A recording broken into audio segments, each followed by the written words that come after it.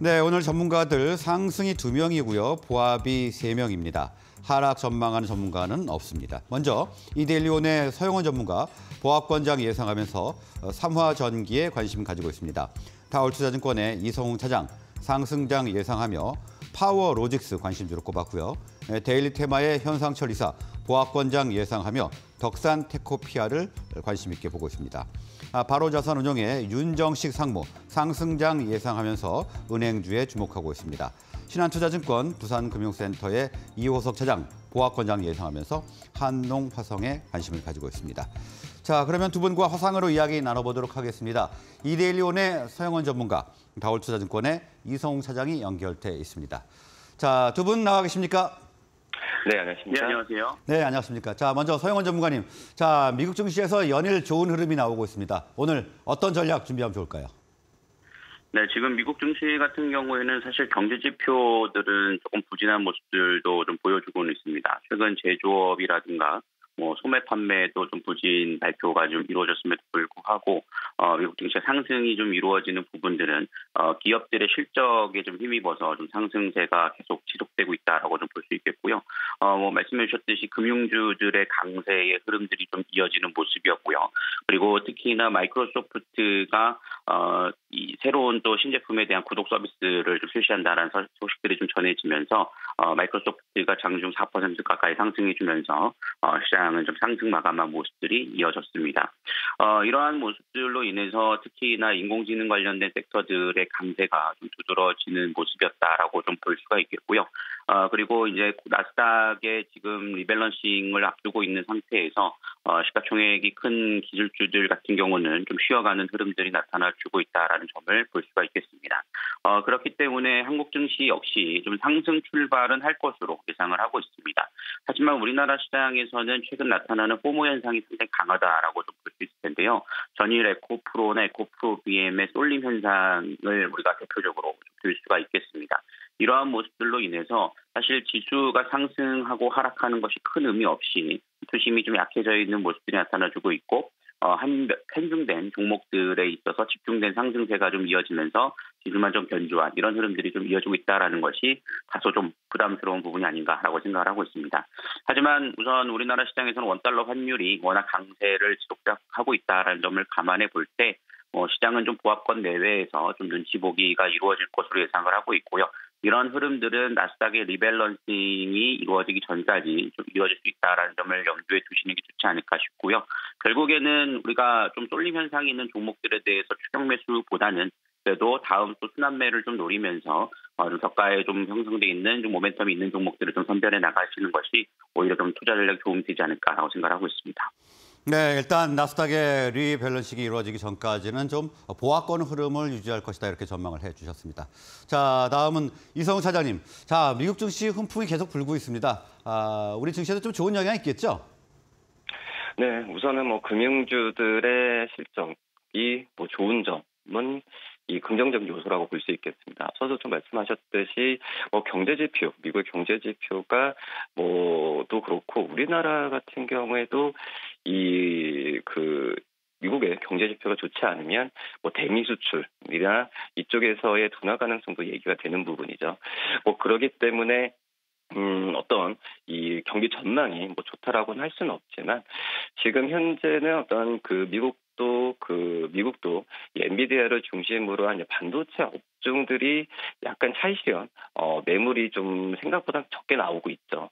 그러면서 이제 종목들에 대한 뭐 상승세가 또 나와주고 있는 부분이니까 뭐 전체적으로 본다고 한다면 우리나라도 이 반도체가 시가총액 차지하는 부분이 상당합니다.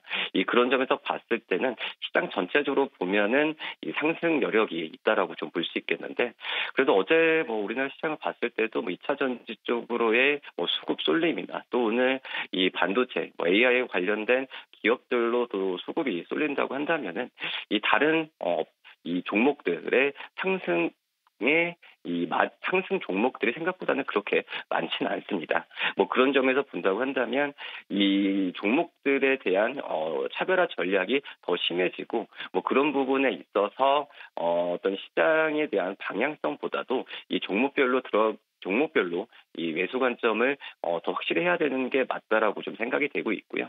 다만 이제 이 미국 시장 미국 시장이 우리나라 시장보다 더 많이 오른 상태에서 밸류나 어 밸류나 약간 고평가 부분은 어, 우리나라의 우리나라가 미국보다는 차시장 노출은 좀 제한적으로 갈 가능성이 크다라고 생각되고 있습니다. 이 그런 점에서 봤을 때는 하방 경직성을 유지할 가능성이 크기 때문에 뭐 주식 비중은 항상 유지를 하는 게 맞지 않나 이렇게 판단됩니다. 네, 일단 지수의 방향성보다는 종목별 차별화가 심화되고 있기 때문에 종목별 매수 관점을 유지하는 것이 중요하다 이렇게 말씀을 해주셨습니다. 자, 다음은 관심 종목 알아보도록 하겠습니다. 먼저 서영원 전무님. 네, 오늘 제가 관심 있게 보고 있는 종목은 삼화전기라는 종목을 좀 말씀드릴 수 있을 것 같은데요. 뭐 콘덴서 쪽을 좀 대부분 제작을 하고 있다라고 좀 볼 수가 있겠습니다. 그래서 우리가 뭐 사마 콘덴서나 사마 전자도 함께 좀 움직이는 모습들을 좀 보여주고 있는 상황인데 어, 최근 이 종목 같은 경우에는 페라이트 관련주로서 좀 부각되는 모습들입니다. 어, 히토류에 대한 사용 제한으로 인해서 좀 대체제로서 좀 부각을 받는 모습들을 좀 보여주고 있고 그로 인해서 최근에 좀 시세가 들어왔다가 아, 좀 횡보하는 흐름들이 좀 나타나주고 있는 상황인데요. 일단은 뭐 실적도 좀 무난할 것으로 예상을 하고 있습니다. 그래서 7월 달부터 좀 저점을 좀 다지면서 어, 7월 초반부터 좀 거래량이 좀 동반되면서 상승세가 좀 이어지고 좀 저점을 높여나가는 모습인데요. 어, 그로 인해서 5일 뒤에 좀 5일간 좀 눌림목이 좀 이루어진 상태입니다. 현재 구간에서는 좀 기술적 접근이 상당히 유효하다라고 말씀을 좀 드릴 수가 있겠고요.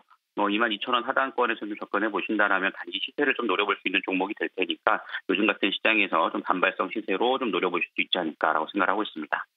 네, 삼화전기 전액 콘덴서 전문 제작 기업인데요. 어, 눌림목 고간에서 어, 공략할 기간이다 이렇게 말씀을 해주셨습니다. 자, 다음은 이성훈 차장님. 어, 파워로직스 말씀을 드리도록 하겠는데요. 2차 전지 보호회로와 카메라 모드 전문 기업이라고 볼 수 있겠습니다. 지금 현재 2차 전지 보호회로 뭐 PCM 쪽 또 카메라 모드를 어, 제작을 하고 있는 상황이지만 이 카메라 모드 쪽에서의 비중이 높은 반면에 주가는 이제 2차 전지 쪽에서의 반응, 2차 전지 쪽에서 더 반응하는 모습을 좀 보여주고 있고요.